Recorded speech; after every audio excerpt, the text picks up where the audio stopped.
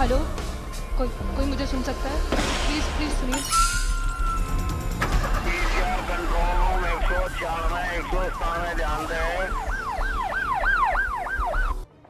नमस्कार, मैं हूँ प्रदीप आज़ाद, और आप देख रहे हैं डायल हंड्रेड। आज हम आपको दिखाएँगे जुर्म की वो तस्वीरें, जिन्हें जानना आपके लिए ज़रूरी है, क्योंकि हमें रहना होगा इनसे सावधान। ये गुनाह के वो मामले हैं जो हमें सोचने पर मजबूर करते हैं, और अपने पीछे कई सवाल भी छोड़ जाते हैं। तो आइए शुरू करते हैं। Dial hundred hello hello hello कोई कोई मुझे सुन सकता है? प्लीज़ प्लीज़ सुनिए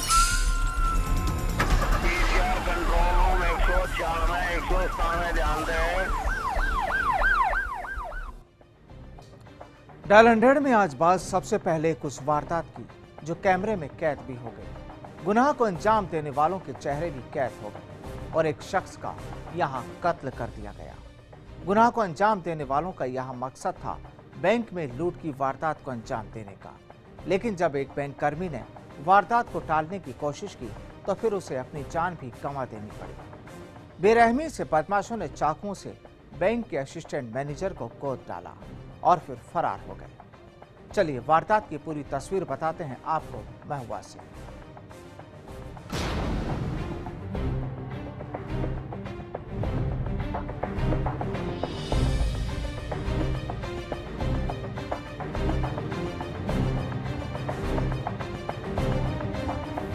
दौसा ज़िले का मंडावर कस्बा, जहाँ गुरुवार को सनसनी फैल गई।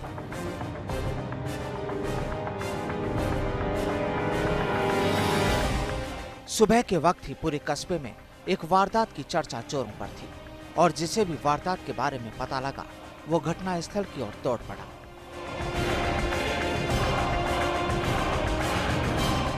अब जरा इस तस्वीर को देखिए। ये है मंडावर कस्बे का बैंक ऑफ़ बड़ौदा।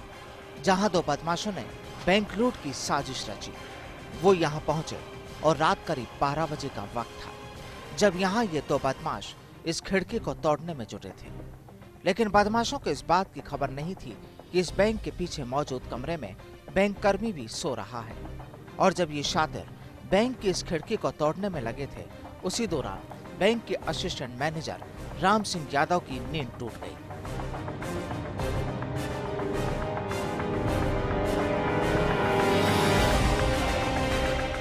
बैंक में किसी वारदात के संदेह में वो बाहर निकल आए और जब सामने देखा तो नज़र आए ये दो बदमाश। आखिर पूरा मंजर भाप कर बदमाश बैंक कर्मी पर टूट पड़े और उसे चाकों से कोट डाला, जिसके बाद उसकी मौके पर ही मौत हो गई।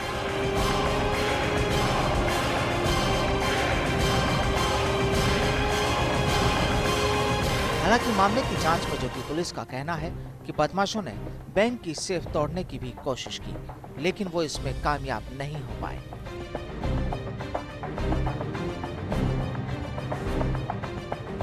इसी रात्रि को मंडावर कस्बे में ही बड़, बैंक ऑफ़ बड़ौदा में अज्ञात हमलावरों द्वारा सहायक मैनेजर श्री राम सिंह यादव का नरसंस हत्या कर दी गई। तत्पश्चात वो बैंक में खिड़की तोड़कर घुसे हैं और सेफ़ तोड़ने का प्रयास किया जिसमें उनको सफलता नहीं मिली है और इस इतला इतला मिलने पर तुरंत ही पुलिस पहुँची है और अनुसंधान प्रारंभ किया है। सीसीटीवी फुटेज देखे हैं उनके अनुसार दो अभियुक्त नज़र आ रहे हैं और इस घटना में संभवतः अभी तक के अनुसंधान से दो अभियुक्तों द्वारा कार्य की गई है और जल्दी ही प्रयास कर रहे हैं कि इसमें स्थानीय हैं या बाहर के हैं। सभी एंगल्स पर अनुसंधान किया जा रहा है।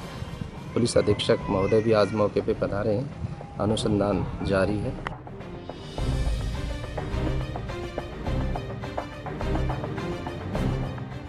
बदमाशों को सेफ़ तोड़ने में कामयाबी नहीं मिली और इस वजह से यहाँ रखी लाखों की नकदी लुटने से बच गई। लेकिन बदमाशों की इस वारदात में एक बैंक कर्मी को अपनी जान कमानी पड़ी।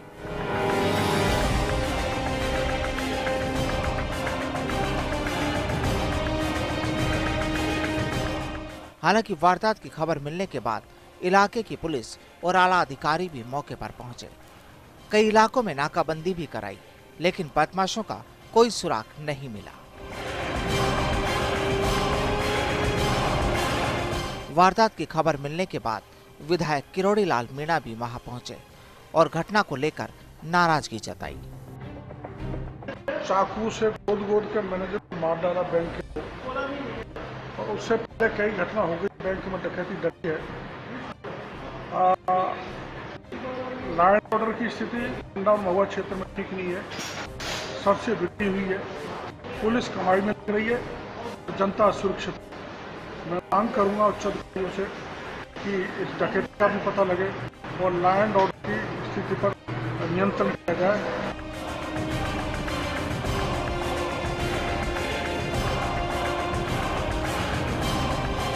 बैंक कर्मी की हत्या की इस वारदात के बाद पुलिस ने एफएसएल टीम को भी मौके पर बुलाया और यहाँ से सीसीटीवी फुटेज भी कब्जे में लिए। लेकिन अभी तक जाँच के नतीजे ढाक के तीन बात ही हैं।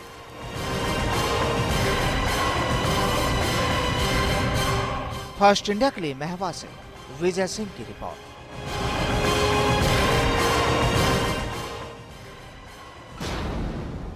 लोगों की सुरक्षा में तैनात खाकी अगर गुनाह को अंजाम दे तो फिर असल मुजरमों की फहरिस्त भी शर्मा जाती है। और इस बार राजस्थान के कोटा में एक पुलिसकर्मी ने फिर वर्दी पर दाग लगा डाला। और इस पुलिसकर्मी ने वारदात भी कोई छोटी मोटी नहीं, बल्कि इस पर आरोप है कि उसने एक घर में जबरन दाखिल होकर वहाँ रहने वाली एक महिला को हवस का शिकार बना डाला। इलाके के थाने में तैनात पुलिसकर्मी भी इस वारदात के बाद आला अधिकारियों के भी होश उड़ गए। जब मामले की रिपोर्ट थाने में दर्ज हुई तो आरोपी पुलिसकर्मी को भी हिरासत में ले लिया गया। लेकिन वर्दी पर एक बड़ा दाग ज़रूर लग गया।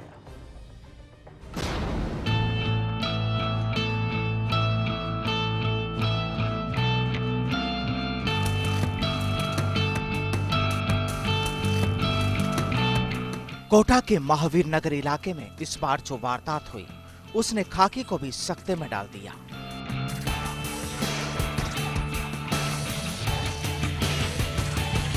ये है कोटा के महावीर नगर इलाके का एक घर, जहाँ पुलिस और एफएसएल टीम एक वारदात को लेकर अपनी पड़ताल में जुटी है। और इस बार जिस वारदात को अंजाम दिया गया, वो किसी बदमाश द्वारा नहीं, बल्कि बदमाशों पर नकेल कसने वाले एक पुलिसकर्मी ने ही दिया, और गुनाह भी ऐसा संगीन यहाँ इलाके के ही एक पुलिस कांस्टेबल सुभाष शर्मा ने इस घर में जबरन दाखिल होकर इस महिला की इज़्ज़त से खिलवाड़ कर डाला।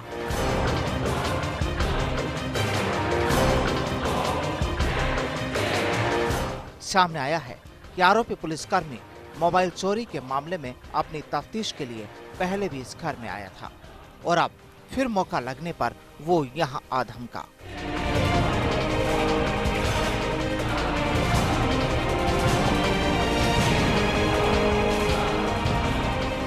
पीड़ित महिला कहती है कि उसने पुलिस कांस्टेबल को बाद में आने के लिए कहा था, क्योंकि वो उस वक्त घर में अकेली थी। लेकिन आरोपी कांस्टेबल जबरन उसके कमरे में दाखिल हो गया और महिला को अपनी हवस का शिकार बना डाला। ढाई बजे वो सुभाष नाम का पुलिस मावी नगर थाने से आया था मेरा रेप करके चला गया। मेरा गेट खोल मेरा गेट बंद था। उन्होंने बोला कि तुम्हारे ऊपर लड़के का मोबाइल मिल गया है। मैडम गेट खोलो और मोबाइल देना है मैंने ये बोला मैंने कहा मोबाइल अभी मेरे को नहीं चाहिए मेरा आदमी घर पर नहीं है। तो उन्होंने बोला चलो पानी पिला दो। मैंने जरा सा गेट खोल के पानी की बोतल दी उसने तो फट खोल के और मुझे अंदर बंद कर दिया गेट लगा दिया।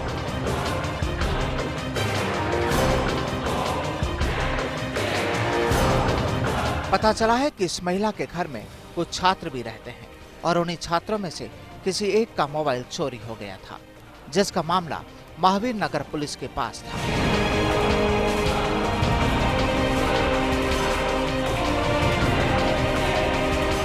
सामने आया है कि उसी मोबाइल चोरी की तफ्तीश के सिलसिले में एक पुलिसकर्मी यहाँ पहुँचा था। हालाँकि महिला का कहना है कि उसने खुद के बचाव के लिए काफ़ी कोशिशें भी की। और उसके साथ मारपीट भी हुई।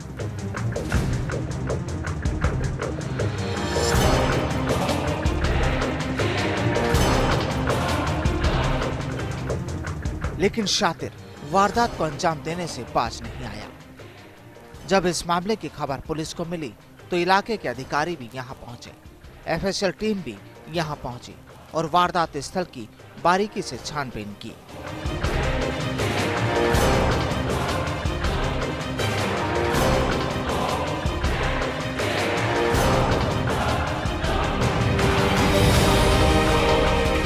हालाँकि इस मामले में पुलिस अधिकारियों का कहना है कि पूरे मामले की जाँच की जा रही है। वहीं आरोपी पुलिसकर्मी को हिरासत में ले लिया गया है। लेकिन पुलिस ने यहाँ एक और खुलासा किया है कि पहले भी इस महिला की ओर से एक कोचिंग छात्र पर दुष्कर्म का आरोप लगाया गया था। लेकिन जाँच के बाद उस मामले में एफआईआर लगाई जा चुकी है। हमारे थाने का सिपाही है सुभाष।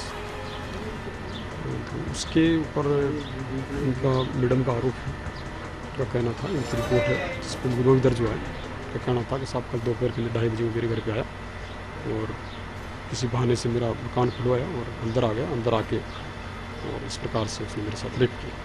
मेडिकली इनका हो गया था और अभी हम मौका देख रहे हैं और जो भी इसमें फर्दर इन्वेस्टिगेशन की जो औपचारिकताएँ पूरी होने की होती सब चीज़ें करते हैं।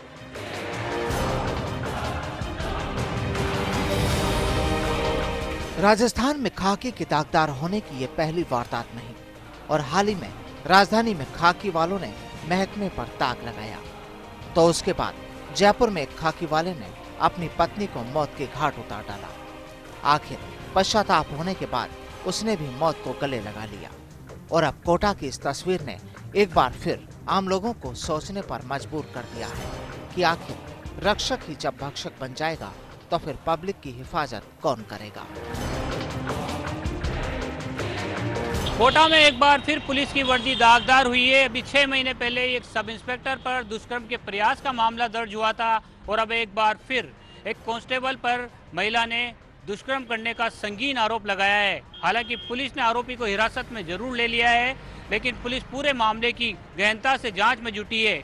अब देखने वाली बात होगी, अपने ही महकमे के आरोपी को पुलिस कितने दिन में सलाखों के पीछे तक पहुंचाती है और इस पूरे मामले को कितनी गंभीरता से लेती है? कोटा से फ़र्स्ट इंडिया के लिए कैमरा पर्सन मुकेश शाकेवाल के साथ शाकिर अली।